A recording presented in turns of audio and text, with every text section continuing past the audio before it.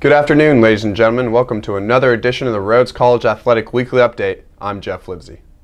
In men's basketball, the men's team beat Berry College on Friday, 88 to 72, and were led by senior forward Shane Watson, who had a career-high 29 points. The Lynx Here's then fell to Oglethorpe University on! Sunday in a tough game, 81 to 74. The women's team stayed atop the SAA with two big conference wins this weekend.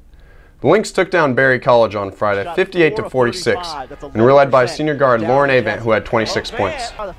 On Sunday, the Lynx handled Oglethorpe easily, winning 80 to 54, and were once again led by Avent, Back who had 30 outside. points. Here's Johnson. These performances gave Avent her fourth SAA Player of the Week of the season. Both men's and women's teams will be on the road for their last conference regular season games of the season this weekend at Sewanee and Centre.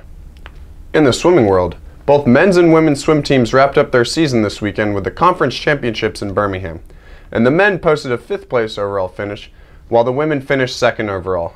A bright spot for the women was Mary Pertura, who had two first place finishes in both the 1 meter and 3 meter dives. In rounding out winter sports, both men's and women's track teams posted victories in the SAA Indoor Challenge in the last indoor meet of the season. Both teams look forward to starting their outdoor season on March 1st at the Mississippi College Invitational. And now on to spring sports. The Rhodes softball team started off the weekend with a tough 8-3 loss against DePauw, but then responded with three straight wins, beating Maryville 9-0 and 4-1, and then beating DePauw on a rematch on Sunday 3-0. Pitcher Forrest Skelton went 2-0 on the weekend with 20 strikeouts, while Alicia Klein earned the SAA Player of the Week after starting the season off with a 500 batting average. The Rhodes baseball team went 2-0 against Lemoyne University this weekend, winning the doubleheader 6-5 and 5-1. Pitchers Thomas Beamish and Adam Putnam got the wins for the Lynx, who will be back in action this weekend at home against Wartburg College and Washington University. The Rhodes men's lacrosse team lost a nail biter on Saturday, 7-6 to Southwestern College.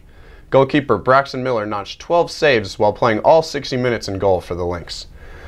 Rhodes will be back in action this weekend at home against the University of Dubuque.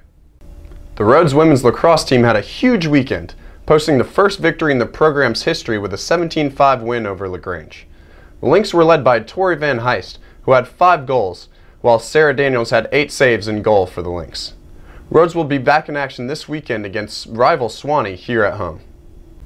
And that's it for another edition of the Rhodes College Athletic Weekly Update. I'm Geoff Livsey. Until next time, keep rolling, Lynx.